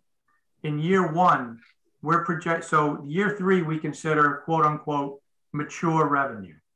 So that is a regulated system where people will come back to their normal parking habits, which were measured back in October 2018. In, in year one, we're projecting 64% of mature revenue is going to be realized. In year two, we think the ramp is going to start to increase a little bit more. 84% of the mature revenue number is estimated in year two. And then by year three, people have gotten tired of, you know, uh, carpooling and doing other things to, you know, try to save their, um, you know, uh, you know, a parking fee here and there, and have regulated back to their normal parking habits. And that's that's a, a pattern that uh, that I've seen repeatedly uh, over the years um, historically in um, in downtowns across the Northeast. And and I'll just say I'm not I'm not here to fluff Jerry, but I've spoken to a number of the municipalities that he has been the lead consultant in implementing new systems. Um, I'm well aware that you know past performance is not a guarantee of future success, but um, in, in all three of the ones that I've spoken to on Long Island, where where he has performed the role he's performing here, um, the revenue has exceeded um, the projections that that he put out. So I think he's he's got a history of being pretty conservative and pretty spot on. We're talking an awful lot of money, though, John. The other Talking thing- an anticipation of $68 million over the 10 year period. You know, that's after that's after expenses. And I, you know, The other thing that needs to be clarified a little bit too, Roy, is that the uh, center mall parking, no one's ever been allowed to park there all day. Uh, we have always historically had specials out there that used to mark tires and and check the check those things all the time for, for a two hour parking limit. So there's always been a two hour parking limit. This just makes it a lot more efficient to be able to check those things because as soon as a car becomes over timed parking, you get a system warning saying where they, where the cars are over parked, overturned parked. So Ron, what you've been doing that? What was the income from uh, parking fines last year? I I don't have that, those numbers available, and I don't even know that they would be available. Uh, uh, because no yeah, because tracked- they're part of the budget. We do have that in part of the budget. it's not. do gonna I thought It's not just. I gonna be- thought it was It's not just going to be seventy-five. parking. That's going to be all parking revenue. That's throughout the entire city. What you referenced, I thought what you referenced, you correct me if I'm wrong, was that you said that people parked all day long in the in the center malls and there was no turnover. In fact, No, I don't. I don't know what what the center mall. You know where these numbers were taken. I'm assuming it was all 1350 spaces. You know that they, the numbers were taken. So, you know, people parked. It was what I'm saying is you know, this is based on basically a turnover or people paying the entire thing, but it's based on a time when there was no incentive. So they said, well, somebody's parking there this entire time. So we're going to assume that once the money, even with the money being charged, they will continue to park there. Those are what the numbers are based on. Now, The only thing I Ron, was trying to clarify was that there was parking enforcement always taking place during those times. Some of the meters are, thir- some of the spots are 30 minutes, some of the spots are, are, are an hour, some of them are two hour. And the specials walk those areas all summer long and all, all year long and issue summonses for that. So the, so. right, right. Uh, Then that's why I'm asking. They've been issuing summonses, and I'm just wondering what our income is from those summonses now. Before we're tracked. talking about Yeah, from my understanding, they've never been tracked just for specifically for those things. There was revenue that was generated for parking summonses and revenue that's been generated for moving summonses that we get reported back, but never in the center of town. It was the entire city. Okay, So- okay, so I guess like, so, so basically, you know, we have a parking fine, uh, parking fine budgeted line item, which is probably an aggregated number, which we probably don't have a specific breakdown at this time, but I'm sure Ina and Ron can look into that. Um, okay, did but right have- now, There's no way to tell. right now, we're Right. anticipating six hundred forty-eight thousand dollars in parking fines, six hundred twenty-four thousand dollars. Yes, that, that's Six hundred correct. twenty-four hundred thousand dollars in parking fines. I'm just, you know, I, I you know, I, I'm trying to figure out It's a lot that goes into this those parking fines, Roy. Some of the parking fines may end up going to court and they're dismissed. Um, so that is something that we can take a look at and just say, we can't give it to you by area, but we can give you an estimate of where we were going to be for parking fines. Um, Right, Donna, that's what pay- this, this, this presentation has an estimate of Um, uh, Roy- Roy, that hundred. Right, it has an estimate for the center, for the center of town. Yes. When we talk Right. about parking fines in the budget, it is not broken out by the areas in town. And so I guess where I'm a little confused by your question is that if a person parks there 12 hours, they have to pay. If, and if there was no incentive, they didn't have to pay, therefore there's no Correct. revenue to the city. And then if Correct. they receive the ticket, it is not guaranteed that they're going to have to pay the entire amount of the summons if they go to court. So I, I guess, That's, that's seventeen percent was the number that they figured for that, Right. that there would be a reduction of seventeen percent.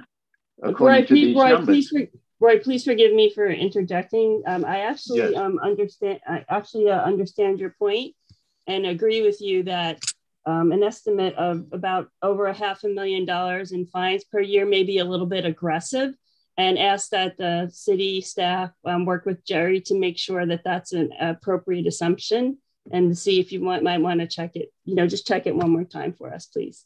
Okay. Will do. that, will do. does that help, Roy? Do you have any further questions? Yeah, yeah, no, that, that helps. I'm trying Thank to, uh, yeah, yeah, just a couple more. Hold Second. The, on one of the slides you showed us, you did have, uh, the Memorial Day, um, uh, date as realistic, but you, you seem to say that that's a little bit aggressive at this point. Can you give us a little bit more on that? I mean, it, Yeah, I mean me, that's based on based on what we heard tonight, it seems impossible. But you think it still could be possible? that's that that's the target date that we were given. We are gunning for it. Um, it it's aggressive. How realistic it is at this stage of the game um, is certainly in question.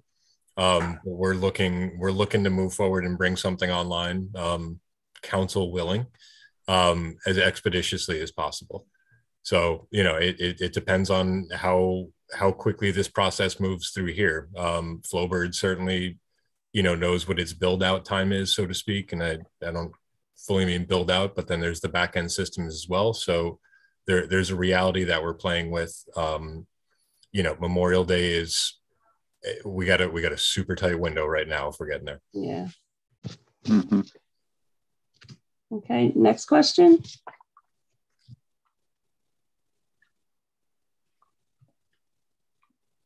Anybody? Because I, I just have a couple more. Um, Liz can go ahead. I have one yeah. as well, but I'll wait till the yeah, end. Yeah, I have a couple, but since Roy's got a hard stop, let's let Roy no, get that's, his. No, please. I'm, you know, we got to get this done. So, All right, th- thank you, Roy. Um, let's let's move. Let's rotate a little bit. I have some questions too. Um, Liz, you haven't had an opportunity to ask any questions. Yeah, my question is regarding the app. Um, I've downloaded and have played with it as well.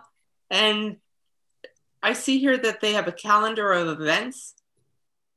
That's some so say I wanted to that Bright Eyes having a concert or a a trio of jazz singers. Would we be able to or would the Bright Eye or the event coordinator be able to contact the city and say, I'm having this event. Can you put it in the calendar so that people can look at the parking spaces that show up at what's available at that time? Sean, that? Sean, Ed, you guys, uh, what's that interface look like? Yeah, I could take that. Um, yeah, so we work with a, um, a reservations uh, system that allows for parking reservations at typically off-street parking locations. Um, so if that interface is available, then then we could bring it to Long Beach, and it, and it kind of connects the events in the area. And there is a configuration to allow for um, special events to be you know added there. Um, so it's just something we'd have to look at with our parking reservations uh, system there. okay, that I just need to uh, establish how that was made. Anything else? Go ahead, you can go, Tina. Um, I just had a, a question. Um, from my understanding uh, in previous conversations, the city was granted about 500,000 for this project. And is there a place where the costs to implement the systems above this amount is defined? Like I know we have a certain amount, but So- like, yeah. So it was, we were, uh, financial restructuring board, um, has allocated the city up to five hundred thousand dollars, um, towards this project. And that's actually not baked into, because we, we don't like to assume anything. Um, and we've been working on this for a while, so that's not baked into Jerry's analysis. So, you know, as we move forward, we will, we will bake it in and, um, move it out. Thank you. I have a I have a related question um, to that point, Tina. Um, so the projected or estimated uh, vendor recoupment amount is 3.8 million through the you know uh, vendor finance model, and then um, with the bond financing structure, the proposed bonding amount is seems to be 1.2 million dollars that we would borrow. Gary? So I think I'm, I think I'm- That's correct. So, I- Can you walk me through the difference? yes, differences. the, the, the, the 3.8 million uh, includes the vendor's operating expenses as well as their developmental and financing expenses. So, um, you know, so so there's there's a lot of cost to pull this all together, um, and and also there's there's risk involved on their part, um, which they've also baked into that estimate of the 3.8. So between the financing, the risk, and their operating expenses, um, you know, we're paying that extra money as a result. So what what exactly in comparison would we be borrowing for in the 1.2 million? Is that their Uh, development costs? Is that the fee, the Flowbird fee? Uh, Sean or Ed, do you want to, you know, you gave us that estimate in terms of the, the one-time cost. Does that include um, all the, the development of the back office and the integration of all the systems? The one-time cost um, as opposed to the financing Correct. or the revenue share. Like how do we compare it? Yeah, so I'm looking at the um, details on that now. So that, yeah, I mean, it, you're you're basically getting all the pay stations. Um, you're getting you're getting the enforcement system, um, and yeah, you're basically getting everything. You're just paying up front for it, as opposed to us taking the risk that the revenue is not enough to cover the the cost of the system, basically. So we're in the first model where we're talking about um, a revenue share. We're basically input. We're installing the whole system for you and operating it for you, um, and then taking the risk that the revenue comes in to cover it. Um, whereas in the model where we are getting the money up front, we're doing everything the same. Um, we're just uh, we're not we're just getting paid up front for it. Oh, okay, I think I, I think I get it.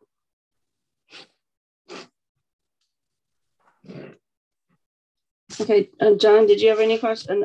Any more questions? Uh, yeah. Um, just this one's a, a kind of a simple one, but uh, since the machines take cash, who collects the cash from the kiosks? The the operator, so the vendor would would be collecting the cash.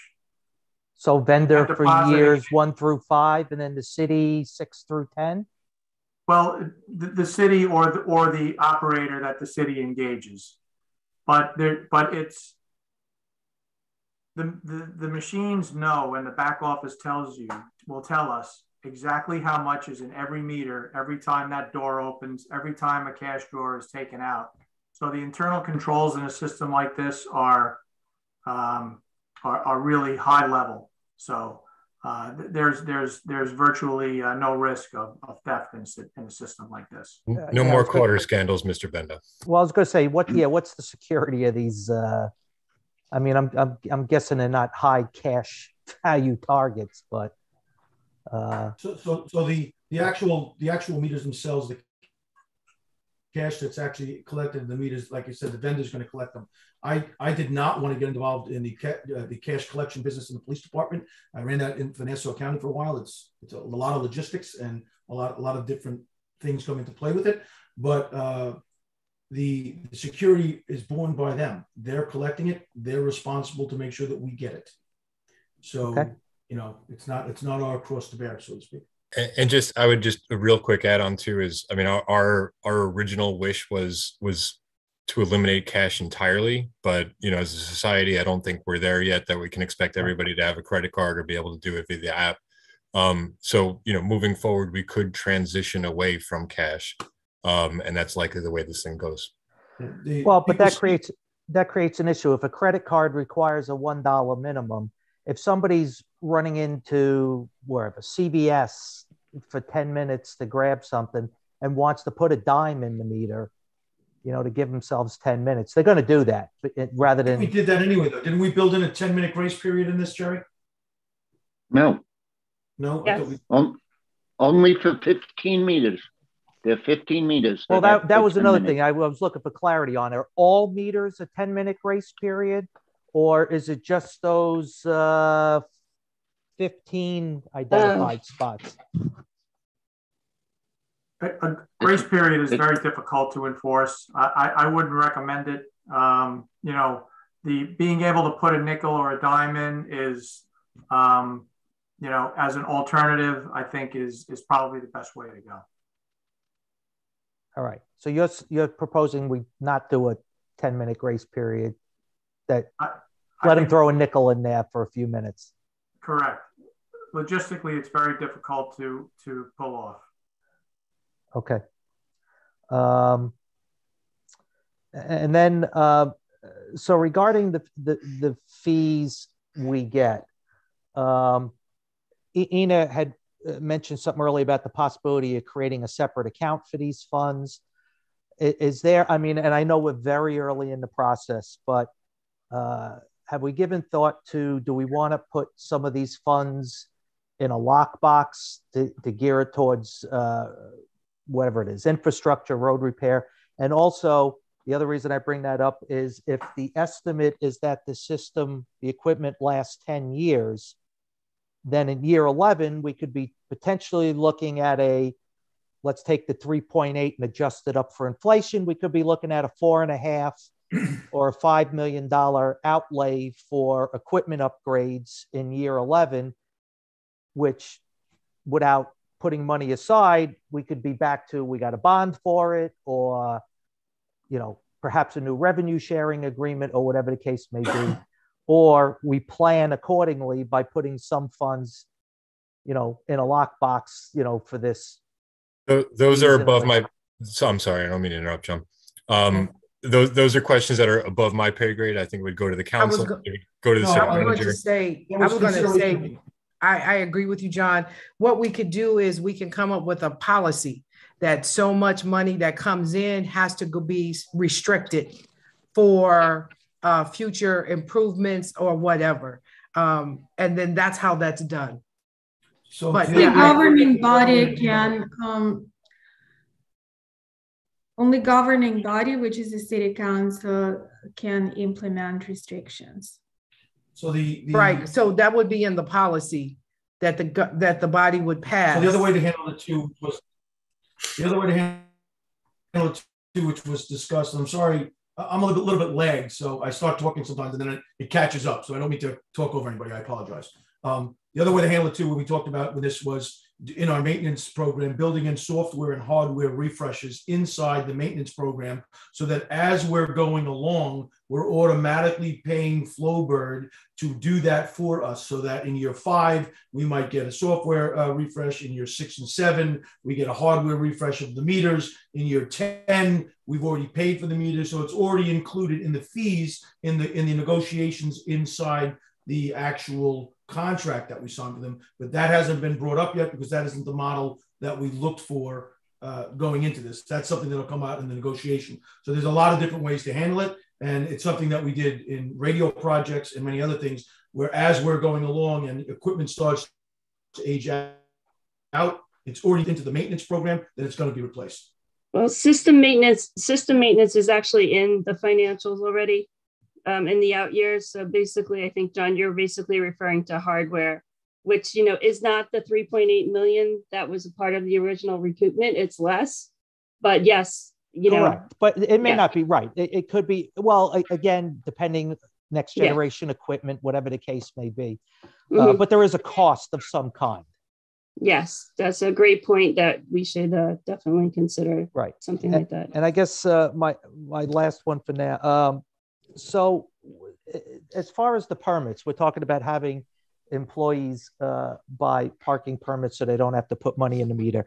Uh, we have two kinds of employees. You know, we have uh, the full-time people who are going into their office or their business or whatever, working full-time. But then we have also the high school kid who's bussing tables at a restaurant, uh, might only be working 15 hours a week or something like that. Are we applying the same rule to those people about having to buy permits? Or are we going to work something out where the businesses can buy permits for their employees? Or you know that, i mean that could, that could not all be, not all permit holders are the same.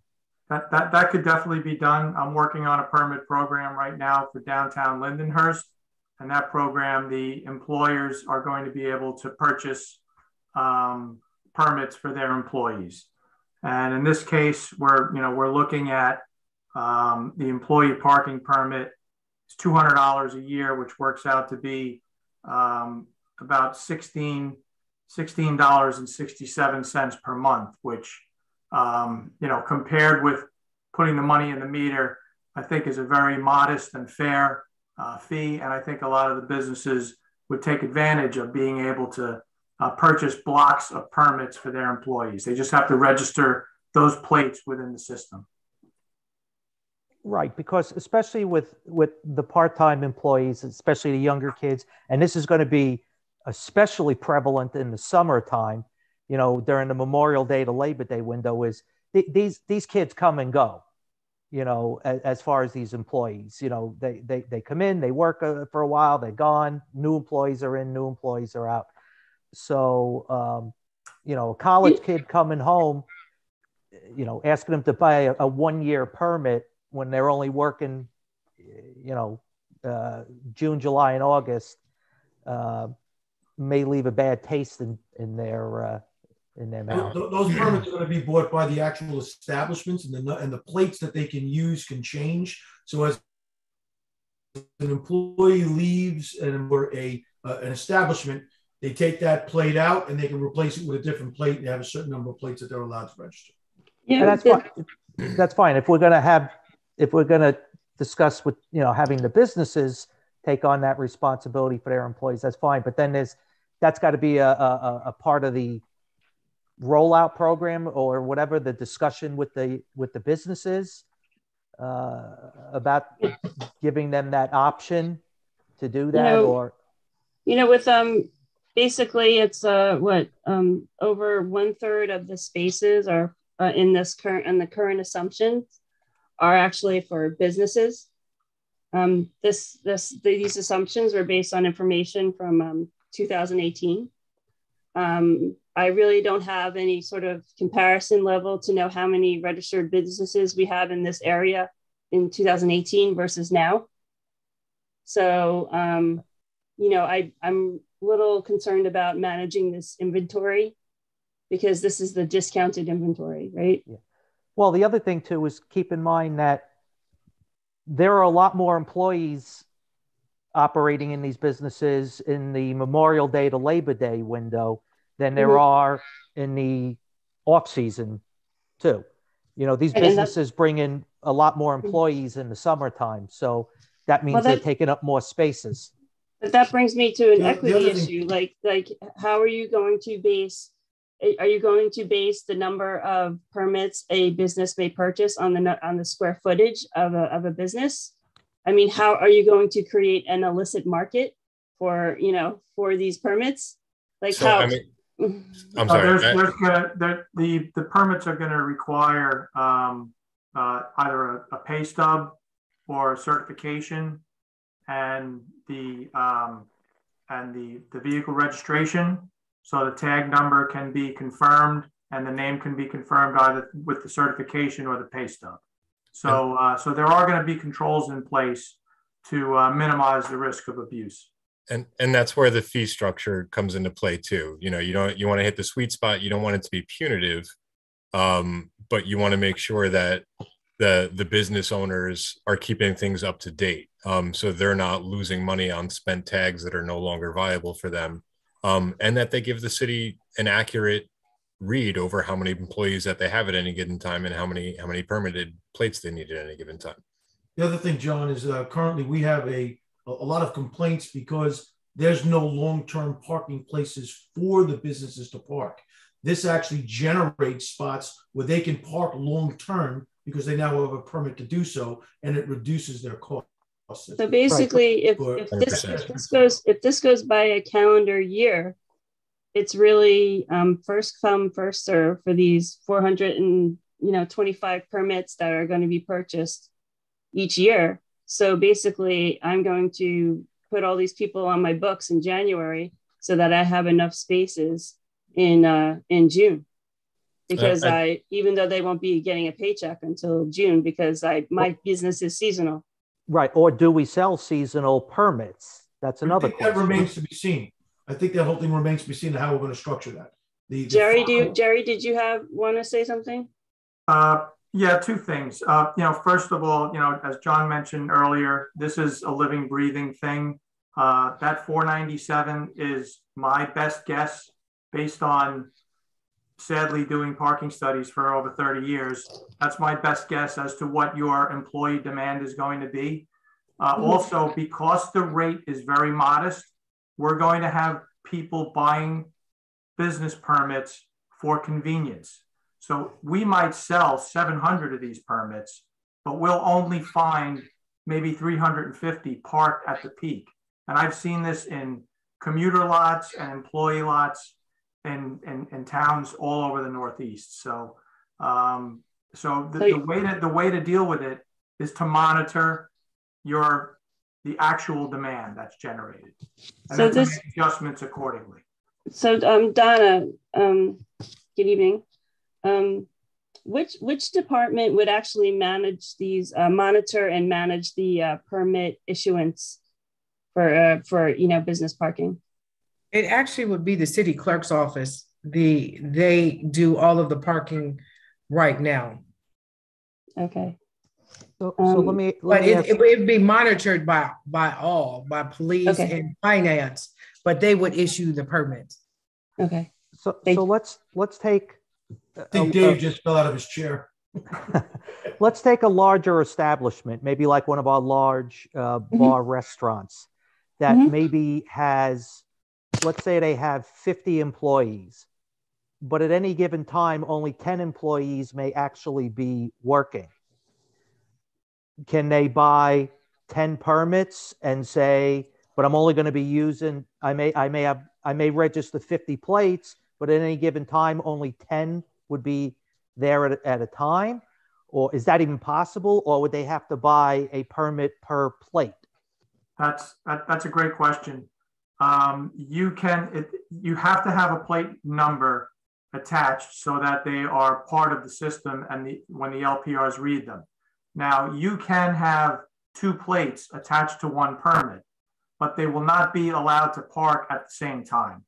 So if, if, if I hit plate ABC one, two, three, uh, on a particular day, and there's another permit on, and there's another tag on that same permit, and I read that plate as well, they're gonna get a ticket.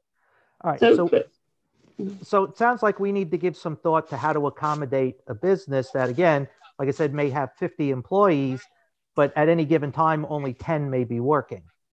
You can also structure it, John, with the permits at any given time. You're only allowed to have 10 cars from that business allowed to park there. Well, that, that's what I'm saying. But yeah, but that, yeah, but so that was, that's the whole point. How do you really, how do you track say that? one business can get ten permits and another business can only get five? No, they can buy the- 100 Uh, permits. It's, They can it's- buy 100 permits, but at any given time, you can limit the number of people from that establishment that can park there. Here's- so let us, I think, I think that's a great Lancer. flag. I, I think you get my point, though. Uh, you may not have the answer right now, but I think you, you see what I'm getting at. No, it's a Um, great flag. Let us, let us take that in-house and uh, come Right. back with something. Um, I just want to point out, Jerry, you had said that the permits would be, the, the employee permits in the begin, in the earlier part of this line of questioning, you had said that the employees would be required to submit a pay stub.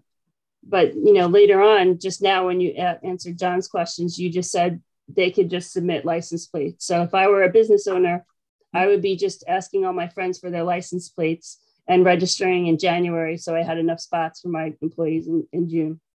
Now, you would, you would still need to attach a vehicle registration and either a pay stub or a certification to each plate number registered for your business.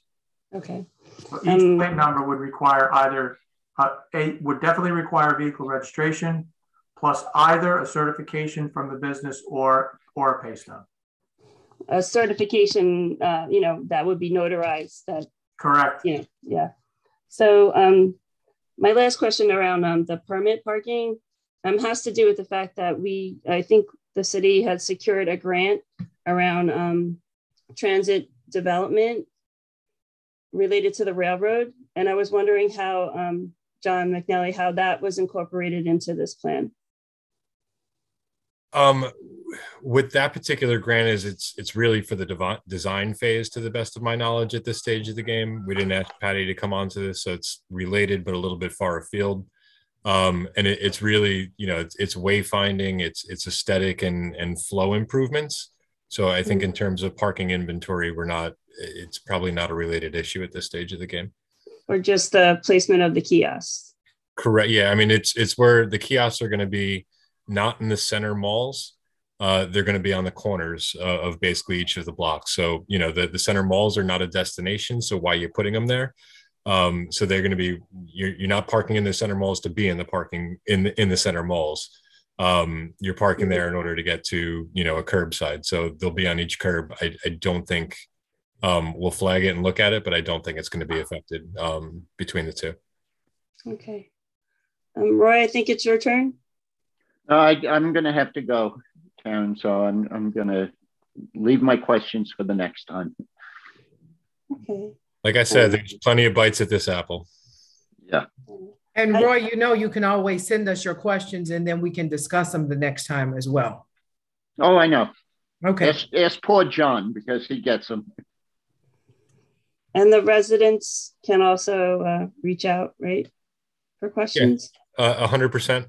Um, either, you know, city manager at, at longbeachny.gov or Jay McNally at longbeachny.gov. And as noted, there's going to be um, a number of bites of the apple where public input at regular council meetings will be, will be not just available, but welcomed.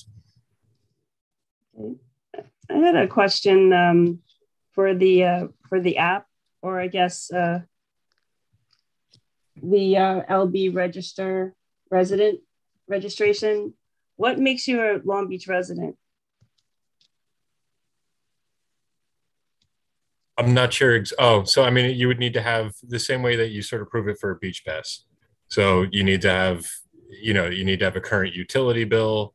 Your license needs to, you know, reflect, and it's it, this is an annual annual registration. So just because Karen McInnis signed up for um, and passed the test to be a resident in 2022 does not mean that you will be a resident for life. You need to you need to prove it each year. Can, can we be a little bit rigor, rigorous on that? And you know, because this is you know this is the issue we're having with you know people that pay taxes to live here and people that don't. Okay, so we'll, we'll definitely examine criteria to make sure that it's as uh, foolproof as possible. Okay. Any other questions from the council? I have just a final question, perhaps for Jerry. Uh, have we asked the most asked question that you have received in your years of experience? Are we missing something?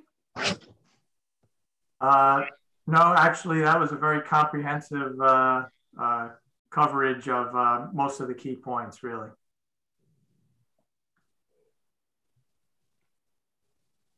Thank you, sir.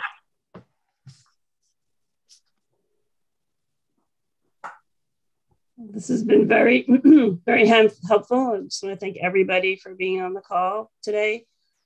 Um, this is a lot of lot to consider. Um, thank you to Flowbird as well um, for all your uh, for all your help. And um, John McNally, I leave it to you. Until the next time, and there will be several next times. So uh, appreciate you all. All right. Thank you. Have a good. Thank you, See you everyone. next Tuesday at our city council meeting. Good night. All right. Good night. Uh,